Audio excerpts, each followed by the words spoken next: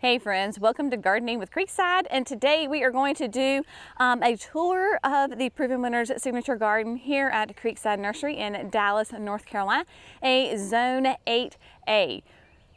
For those of you that have been faithful followers of Creekside, you know that we have uh, developed and created uh, this beautiful garden. I'm sorry, there's a hummingbird just right off to my side. I, absolutely adore the hummingbirds. So they're going to the weigelas and the roses. If you don't have your hummingbird feeders out, get them out now. Okay, we're gonna go back to the, I can't mess up a good hummingbird, y'all. Um, the garden is, gosh, the plants in it, the shrubs, the perennials is less than, oh gosh, six, eight, definitely eight months old. We just got it developed, designed. Uh, I did the design. People were asking, you know, who did the design? I came up with the design. Jerry kind of, we worked together as a team. He kind of laid out and said, this is our area. And then from there, I went ahead and created the beds, the shapes, and all of that. Of course, it is filled with a lovely proven winners, perennials, trees, shrubs, and annuals. We're really going to focus on the shrubs and the perennials today because as you know we are in transition time of getting all of the annuals in. So I'm going to talk about the annuals but there are some great shrubs and perennials that I can't wait to share with you. Hopefully give you some ideas for your garden um, even if you see a plant just one plant that you're like, that is the coolest plant. I love how it looks and I want to add it to my garden. That is my goal. Do uh, I expect everybody to have this, you know, really intricate, very high, high maintenance um, display garden in their yard? Absolutely not. Please keep in mind that this is a display garden for um, visitors, for our customers, for you sweet people, anybody that wants to come and walk these gardens, look at them. It is absolutely free. You can come when we're open, Wednesdays through Saturdays, 9 to 3, walk through and enjoy. Most of the shrubs and the perennials have name tags on them. I know there were missing a couple of them. I'm going to come back and make sure that everything is labeled so that when you come and visit, you're not left guessing, well, what is this plant? You'll know exactly what it is uh, in case you want to add it to your garden. We were here just the other day getting uh, the annuals planted. Of course, we have the Supertunia Vista Jazzberry. That is the annual of the year. You were with Jerry and I as we uh, planted these and they are doing quite nicely. Nice dark green. Y'all, this is why we amend the soil with nice, you know, compost and your great biotone fertilizer all that nice dark foliage. They are really starting to fill in. It's beginning to be hard to see, you know, the individual plants, which is what I want because the end goal is that it will completely fill this in. We have our first Wedgwood Blue. Look at that. Um, I just planted this. You know, you were with me the other day when we planted this. First one blooming. I'm using the Wedgwood Blue as a filler for this year while I am waiting on the Sprinter Boxwoods and the Little Lime Punches to reach their mature size. This way the Angelonia will, you know, fill it in, make it look that it's not so empty. And then of course, all the beautiful annuals. So this is the first annual planting for the summer season that we have put in here. Again, if you missed that video, go back and watch it. My goal here was to create a really colorful mixed garden that you can enjoy and be inspired by maybe you haven't you know maybe you're not familiar with artist blue ageratum or you're not familiar with the cerveza and lime when you rub it it smells like lime or the mystic illusion dahlia that does really sweet yellow flowers the goal here, yes, it is heavily planted, is that really quickly you will not see any soil between these plants. I picked a pattern, I created a pattern, and then I really, you know, just repeated it all the way down. Both beds are planted the exact same. So that is this bed. We're just gonna kind of hang out, wait for these to grow, fill in. For the first couple of weeks, we are going to be very aware and vigilant, making sure that they get plenty of water. There's not drip lines per se in this area because we know that these plants there is drip in the bed, mostly on the hydrangeas and the boxwoods, but as you can see right here, um, this is a great example, the irrigation drip line is between the little lime punches, and close to the annuals. Once these annuals get really established, like I said, have to watch them two to three weeks. Make sure they have plenty of water, that they're not stressed. Then as this irrigation comes on, it should be enough to sustain these plants and they should be just fine. That's why we love getting our annuals in the ground as quickly as possible in the season because their roots get really, really well established and then you're not having to be out there watering as much. So that is the deal on that. The rest of the garden is on irrigation. It is all sprinklers. It is overhead. Jerry and I went back and forth trying to figure out, do we do drip? Do we do overhead? What do we do? We decided to do the overhead for the simplicity of there's so many plants and we don't want tons of the drip line running through here, especially in our annual beds. They're gonna get turned over at a minimum of twice a year.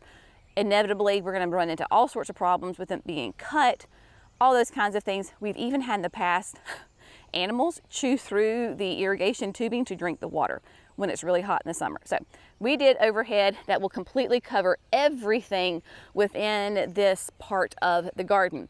So what we have here in the garden, uh, and yes, it is early morning, so you might see some shadows here, but there are four outer beds that are perfect little triangles that you will see. In these four outer beds, they are only the perennials and the shrubs.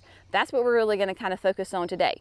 Then on the inside, we have four beds that are roughly triangles, except for the curved on the inside, that are gonna be all annuals. Currently, there's pansies and violas in there. Yes, they look rough. I got it. I know that. But we're going to hopefully within the next week get those four interior beds planted. Dead center, of course, is the unique stone fountain. It too is surrounded by violas and it was tulips. Obviously, the tulips are done. Y'all, some of y'all are like, when are you going to get that fountain going? It's driving me crazy. This fountain is not driving anybody more crazy than myself and my husband. He's had it running, um, so he's currently draining it right now. It's been a little finicky. Let's just say sometimes fountains can be uh, very deebish in the garden. They're a little high maintenance. They're a little particular. And so once you get it set up, you don't breathe funny, you hold your breath, you hold your tongue the right way, and you slowly tiptoe away from it to make sure that it continues to go. He had it up and running the other day, uh, but yeah, it is currently not running. He is, he figures out what kind of what the problem is, but we're gonna have to take it all apart, put it back together. Y'all say a prayer for Jerry because he's about to lose his mind on the fountain. It should be up and running, hopefully within like the next week if he doesn't lose his mind first. So that is the update on the fountain. Um, we're gonna focus again on these beds. So I'm gonna go to all four beds because while there are some similarities, there also are some differences. If you have been following us, you know that we, when we originally planted these beds, on each of the interior corners of the perennial beds, we put a dianthus. It was, I think it was called funky fuchsia. There are, there's one or two that are still alive. They were more like the carnation type. The vast majority of them died. So we are going to replace them with Paint the Town Magenta. I particularly love this plant. It is um, a really strong, clearly a very strong plant. These plants were left over from last year. I have had a long success with the Paint the Town series. Um, I love the fact, honestly, that it is a that blue-green foliage, right? So it brings a completely different color to the garden. And then we have it, so I'll get these planted um, in the next, well, hopefully maybe even by this afternoon. Now, the, the placement's not the exact right because I still have root balls right here. Just know that they're gonna be spaced on the interior corner of the flower beds. In all the flower beds, we do have some plants that are repeated. One of those plants that is repeated in every single bed is the Boom Chocolatta geranium. If you're not familiar with the perennial geranium, it is very different than the annual geranium, the pinks, the reds, the whites, right, that we're used to. Boom Chocolatta is um, more upright and look at these beautiful like lavender colored flowers. Nice height to it. Uh, two of them are blooming. One's a little behind. You know, plants can be like people. Some are more mature and advanced than others, but she's coming along, so it's fine. Again, all three, these plants are repeated in all four of the beds, but the design is different. So They are right here. Then look, we have azaleas. Of course, no southern garden would be complete without an azalea. This is the Perfecto Mundo double pink. Um, and so you can see that beautiful baby doll pink flower on it. Um, and yes, y'all, you're gonna see some weeds in here. Real life gardening here. We are doing our best, but it is a crazy time right now. So you're gonna see some weeds and that's okay. The Perfecto Mundo double pink really is very, very sweet. Now I will say also that I have not had the opportunity to fertilize these plants um, because you know that we are big users of the um, Espoma products, the tones, right?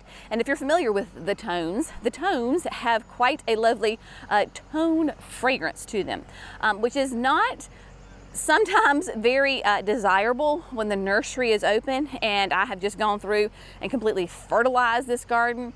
It's, it's like you you walk in and you're like, why does it stink so bad? I like to put out the fertilizer right before it rains. Well, it's been a challenge to get that timing in. So while I'm telling you this is because one, I'm keeping it real. Like we all struggle with the same things of time and when can I get to this project and all this other stuff. But to also say that these plants have not received any kind of fertilizer except that biotone fertilizer when they were planted. Once they get a good shot of food, we're gonna see a lot of good growth. So um, there you go. Um, next, one of my favorite Baptisias. Baptisia is a great plant. It is a wonderful perennial that is an early spring bloomer, right?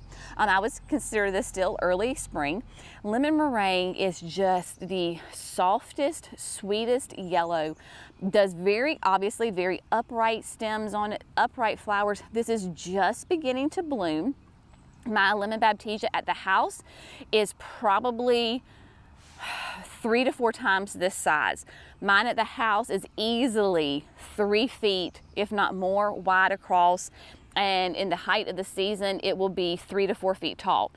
Huge perennial, massive. All the flower beds have uh, Baptisia in it, but they're all different because I wanted to try to show you as many different types of Baptisia so this is the lemon meringue and we also have the phlox. So this is part of the Luminary series. I wanna say this might be Opalescence. Like I said, everything has a tag on it. It is. So this is Opalescence. So you can see that we'll have one, two, and then three behind it. The Opalescence is going to be a nice soft pink, will bloom later. The, the Opalescence phlox and the lemon meringue are not going to bloom at the same time that's okay. When the opalescence is blooming, then my Baptisia will just have nice green foliage. So there we go. The Monarda, this is upscale red right here. Two of them look good. This one's looking sad. Definitely needs some food on there. So there we go. Gardenias, they had some winter damage, right? Um, gardenias, classic, beautiful plant. My absolute favorite flower Yes, so that brown that you see on the edge, those tips, that is winter damage from the cold. However, we come over here and you can see right here, we've got some nice new tender foliage. Again, once I give it a good dose of Holly-tone, we're gonna see some lovely growth out of it. And this one next door, um, we can really see, and I dare say that might be a bud. Flower buds are already start, maybe. It's hard to tell, because they're not fat yet, but these may be flower buds. So we have good growth on that. I was never a fan of uh, perennial salvia. It just never did right for me. I was like, oh, I'd rather use the annual salvia. Well, my friends, pink profusion completely changed my mind. Keep in mind that these are, are young plants, but this is getting close to what they will look like but really by next year this plant will have doubled. It does very upright, just gorgeous pink flowers. Your pollinators love them. It is long blooming because that was my problem with other perennial salvias is they didn't bloom very long. Well, the pink profusion is a great, great long bloomer. When it's done, you can kind of see these other two started earlier. Um, when they are done blooming, gather them all up and give them a good haircut and they will reflush later on. Not quite as strong as they are right now, but they will reflush. And so there we go on that. in every flower bed, and also every flower bed, we have the pink profusion. Every flower bed, we have a different hydrangea. Here we have Limelight Prime, Panicle, you know, she's flushed out, she's doing her thing, she's growing. There you go. We have the Princess Bride Eucomis. Eucomis is that plant that my friend Kata from Walter's Gardens, this is one of her favorite plants. I never got it. Um, we'll see, it's like a pineapple lily when they bloom. They didn't bloom last year, but so far the foliage and the color and the texture is really cool. So we have that along with every flower bed on the outside corner has Cat's Meow Nepeta. This is gonna be a little bit larger than Cat's Pajamas. So far, doing well for that first year, um, and they are hanging in there quite nicely. In this flower bed, also we come around the side. Every flower bed has a storm cloud Amsonia. Storm cloud was the first Amsonia to bloom, so it is now kind of on the downside as far as its blooms, but nice big leaves, and I'm gonna show you string theory here in a minute. Then we have the Achillea. Look at this, y'all. Look how happy this plant is. This yarrow is doing great. This is the peach sky. It will bloom a little bit later, but man, you want to talk about some happy plants. They are happy. And then here we have an Indian hawthorn. This is La Vida Moss. Every flower bed has these, no, these two, sorry, I had to think for a second. This bed and the next bed have these on the corner. These will be low and wide. Y'all, look at the blooms. How sweet is that? Again, first year, really with your um, your perennials and your shrubs if you really you have to be patient with them my friends. Um, i always say it takes three years to really reach maturity to really see what the plant is supposed to do. So if this plant has new growth on it and it's blooming and it's been in the garden less than nine months I am a happy girl. Do I expect these things to be massive and be huge this season? No, that's very unrealistic. You have to give the plants time to grow, get established, get happy. Remember, the first year they sleep. They're hanging out. Their main goal, we got to survive this year. The next year, they creep. They're showing some good growth. They're so, showing some more flowers. They're getting there. And then the third year, they leap. They're like, oh, we like this new house. This is great. Let's live our best life right here. So remember, sleep, creep, leap. Three years, friends. Be patient, I promise. It's hard, but we can do this. We can do hard things. Um, and then, like I said, here is every bed also has the storm cloud and it has the string theory. I think you can probably understand why this is called string theory because it has that very thread-like foliage on it, right? It looks very stringy. I particularly like the fact that they bloom at different times. It extends my season. It extends my interest in the flower bed. So your string, your storm cloud is gonna go first and then your string theory. Again, both of these are gonna get nice and tall. I think it's in that two to three foot range. So there you go. Now, back here, in the center of all of the four beds, there is a different summerific hibiscus. This particular one is Edge of Night. You can see it has that dark, dark foliage. It is going to have like electric pink flowers on it. They love it hot. It is going to take some time for them to pop out. Once we get consistently hot temperatures, and it loves water, so more water, it will be huge. If you're wondering, you're like, Jenny, why in the world do you have all of this empty space right here? Well, my friends, because I read my plant tag and I know this plant. It is going to get huge. It is going to completely fill in and if not, kind of overtake these other plants. Trust me on this, it will. These summerifics, they're gonna be a doozy. All right, now let's walk over here. Um, and in the perennial and Shrub beds, I'm not gonna put any annuals. Even this year, I'm gonna leave them alone. My annuals go in these beds, perennials and shrubs go in these beds. I'm gonna fertilize them, right? We're gonna have a nice regular fertilizing schedule with that slow release fertilizer. I'm gonna do it now, hmm, maybe one more time in the season to really kind of push some growth. Um, and that's it. We don't use water soluble fertilizer on these. That's what you use on your flowering annuals, not your perennials and shrubs. When you, if you want to feed your perennials and shrubs, slow release fertilizer, any of the tones. The go-to is plant tone, right? Um, you can get more specific if you would like. Now, we're not gonna have to go as in-depth because a lot of these plants we've already talked about, right? So the cat's pajamas on the end. The pink profusion. Notice that this pink profusion is in a straight line on the front. This, the hydrangea in here, is the Quick Fire Fab. So there you go, Quick Fire Fab. And then I have Achillea here. So we have three Achillea. Notice they're, they're a good bit smaller. That's the Firefly Sunshine, which is a really pretty yellow.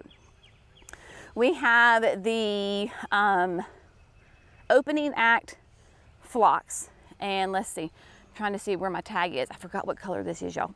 Sorry. Um, but you can see it's getting, I want to say it's maybe the pink. It is getting ready to bloom. I've got three of those and they are putting on some beautiful buds and going to be very, very happy. More upright. Again, we have the three pillow talks right there. Here we have Valentine's Crush. Valentine's Crush is going to be a beautiful red, very columnar, very upright. Has green foliage, but it does have a little bit of dark in it. So there you go on that. You can see the storm cloud behind it.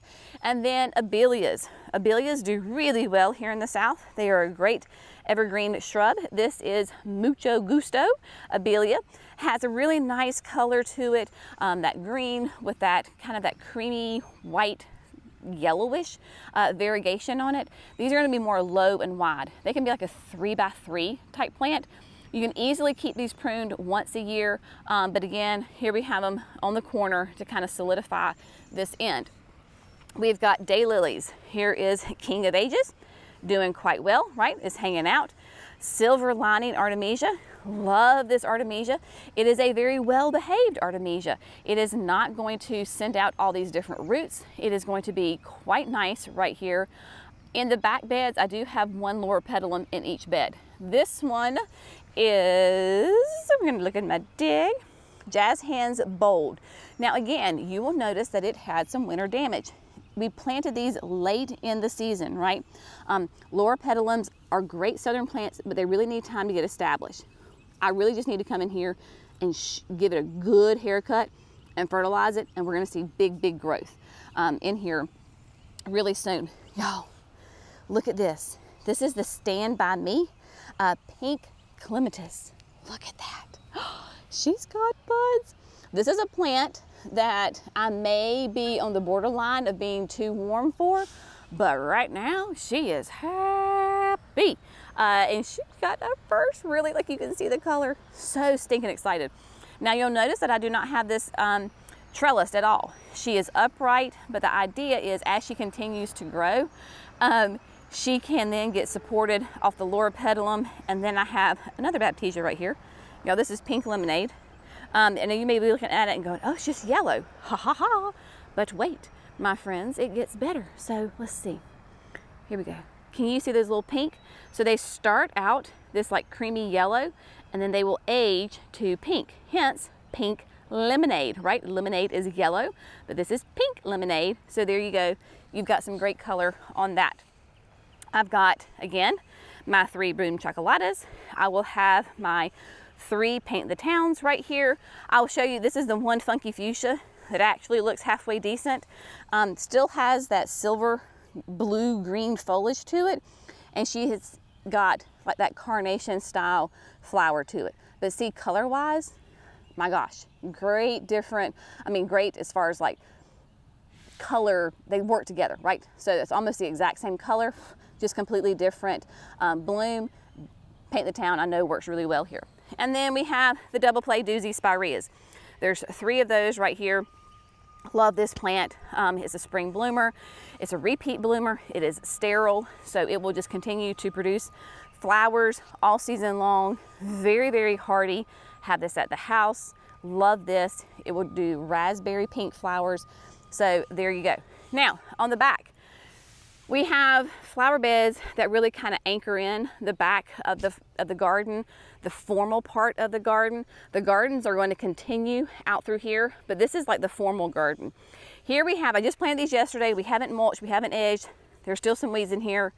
We do what we can as we can, sweet friends. We have the Glitters and Glows Viburnum. This is Glitters and Glows. What Proven Winners did is There is a glitters viburnum and there is a glows viburnum. One's male, one's female. If you wanted to have the really sweet like blue berries at the end of the season, you'd have to plant a glitters and a glows close to each other so that they could cross pollinate. Well, sometimes that can be a little cumbersome, shall we say, especially if you only want one of the viburnums.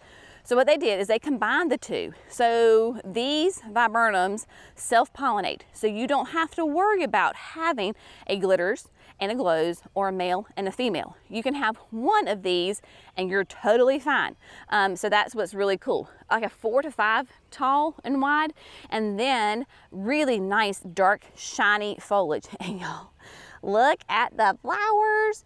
Like the buds, look at, they look like little um, like cauliflower or broccoli heads in my opinion. Um, so all of these are gonna be beautiful flowers. And then this fall, they're gonna have the blue berries on them. Really cool. What I did is I then went through between each one and I planted four of the Diamond Frost euphorbias. So you can see that nice row. The reason that I wanted to do the Diamond Frost is I want my viburnums to grow, right? I want them to reach that four foot width. And so I don't want to put anything that would really crowd out the light so that they can't grow. Because if they don't have the light, then right, sun is the food for these plants. That's what encourages all that great growth. So I thought Diamond Frost would be really fun because it'll look like a solid, airy um, white mass between the glitters and glows while giving them plenty of room to grow. Also, uh, for the wedding, because right, we're hosting a wedding, Alyssa is gonna come down, like she's gonna walk down this way and then go, the ceremony's gonna be right over here. Yes, we're gonna get it all cleaned up. Don't worry about it. It's going to be gorgeous. We have plans it's just a little thing called time. So as she comes down, she's gonna have these beautiful, um, hopefully by then we'll get some good growth, at least some good growth on the diamond frost on this side. Then on the pond side, all of that's gonna be taken care of. And then I'm gonna have um, big massive ferns coming down. So it'll look great when she's when she's coming down. Just trust me, trust the process, people. It is a process. Um, yeah, okay, here we go. A lot of the repeating things. Dianthus, Boom Chocolatta, straight line.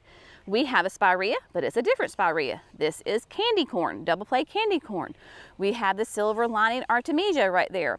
We have another um, Baptisia. This is uh, like the sapphire sparkles. It didn't get labeled, so this is why I was waiting on it to bloom. Um, or blueberry sundae, something like that. It's a blue, right? You can see that there's um, blue and purple in there as well. We have the Achillea in a straight line this time. However, this is Firefly Diamond, which is a white. We have another Loropetalum, but this is Jazz Hands Variegated. We have, of course, our um, Amsonia, we have a daylily, we have the pink clematis, we have the salvias, we've got the string theory, and we've got the pink phlox back there on the back, and of course the cat's meows pajama on, no, cat's meows pajamas, cat's meow nepeta back there. What is different here um, is we have some of the proudberry coral berry. This is a plant that I was a little afraid maybe we would be too warm for. Um, doing great. It is looking wonderful. The true test though is going to be this summer in the heat. I put them specifically in this bed because this bed gets the first shade. So any of my plants that were more tender as far as like um, needing it to have a, a, break in the afternoon, I put them here. So we've got three of the proud berries right here. Beautiful, very, I love the foliage. It's almost kind of very soft and tender, um, so that's really cool. The Clement uh, Summerific Hibiscus here is the Lilac Crush, still columnar. It is going to be a nice pale lavender color. We have the new Purpink Bloomerang Purpink Lilac. Again, wanted to put it in a spot where it gets a little bit of a break in the afternoon. We're getting close to the end of the bloom cycle because you can see we've got some the older blooms right there getting close to being done. But just gorgeous. This is gonna be more petite than Bloomerang Dark Purple. I wanna say in the two to three foot range. What I will do is after it finishes blooming, I'm just gonna come in here and gently prune and shape the plant up so that it has a nice habit, has plenty of time to put on the new growth um, so it can have flowers again next year. The one thing that is different in this bed than any of the other beds is that we have yin and yang viburnum. These are evergreen viburnums, some of my absolute favorite viburnums. Um, you can see all of the new growth, right? I mean, just all that bright foliage is new. These are going to get nice and wide, definitely, and some height to them. Now, this is why you need to have, we're talking about the viburnums, glitters and glows, you don't have to have a male and a female. If you want the berries, you're gonna have to have a yin and you're gonna have to have a yang. I don't remember what we have. We have these two on the outside are the same and then this one is in, in the middle is different. So that is this flower bed. We have a, a hydrangea. Y'all, she is on the struggle bus. Who is this? Invincibelle Ruby. Invincibelle Ruby needs some love right now. I'm just gonna tell you. Okay, real life, weeds. Um, she is struggling to come back, but she is alive. She's got some growth right here and down here. So what this tells me is I'm going to come in, I'm going to shore her up with some Land and Sea. I am going to feed her. I'm going to put rose tone. I prefer the rose tone on my hydrangeas. Um, you, if you want to do plant tone, absolutely, you totally can. This is color specific, so it's not pH dependent. Um, so you don't need to put holly tone on it to change the color. It will be a ruby color. So we're gonna have to do a little TLC with Miss Ruby right here. Uh, yeah, okay, moving on. Last flower bed, my friends. Again, Nepetas, daylilies. We have, look at this. This is Incrediball Blush. Now this is what we should, be, this is the kind of growth I'm talking about. She needs to talk to Miss Ruby over there. Um, Incrediball Blush is a smooth hydrangea arborescens, guaranteed to have flowers on it. It'll be a nice pale pink color to it. Uh, we have the same phlox. I want to say that's the opalescence again. We have um, the La Vida Moss in the back, Storm Cloud. We have the Serendipity alliums in here. This is the only place we have the Serendipity. They are doing quite nicely. Of course, alliums are onions, right? So these are ornamental onions, nice pretty growth. Onions, of course, they're rabbit resistant, deer resistant. If y'all were following my struggle in the backyard, I need to put alliums everywhere. Um, really nice purple ball blooms on them. Will be just stunning. Your pollinators love them. We have the Sunjoy Citrus Barberry. I have three. Two are looking good. One is on the struggle bus. Um, so we'll figure out what to do with that. I can either replace it or I can uh, try to bring it back on the mend like I was doing, gonna do with Miss Ruby. Um, but I love the citrus because look at that color. How can you not love that, right? Clearly all these need to be fertilized. The food and getting consistent water will really help. And then we have our summerific hibiscus here. This one is Holy Grail. So I did the citrus barberries here so that we would have a beautiful contrast because Holy Grail is gonna have black foliage. I mean, black foliage with really deep red flowers on it. Will be so pretty with the citrus barberries around it. Next, we had the Princess Eucomis. Now we have the Crowning Glory. And I was, there was three here. I was afraid I had lost one. Um, you can see this not quite as advanced as the Princess, but you have two here. And then I just saw, yay, look, there we go. Okay, she's not gone. She's little, but she's not gone. So there you go on that. We have another Baptisia. This one is the vanilla cream. So vanilla cream, nice. If you could either look at it as a as a creamy or a very pale yellow. Um, of course, as they mature, it will be a different color to them. And then look how good that pink profusion looks, right? Gorgeous. Azaleas again here, but this time we have, um, this is the Perfecto Mundo orange. Now, orange is not like Clemson orange. Orange is more like a red. So just keep that in mind. But look at all that beautiful new growth. Oh, gorgeous. They did have some flowers on them. They are, as you can see, those flowers have, have come and go, have come and gone. So there we go on that.